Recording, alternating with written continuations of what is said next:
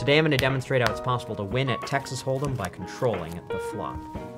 We'll use the Jack, Queen, and King of Spades as our cards to control.